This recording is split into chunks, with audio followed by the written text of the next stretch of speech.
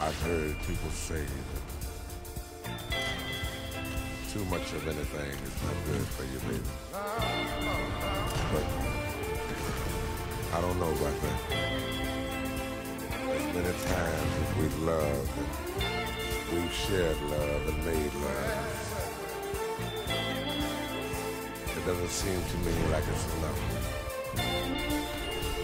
It's just not enough it's just not enough.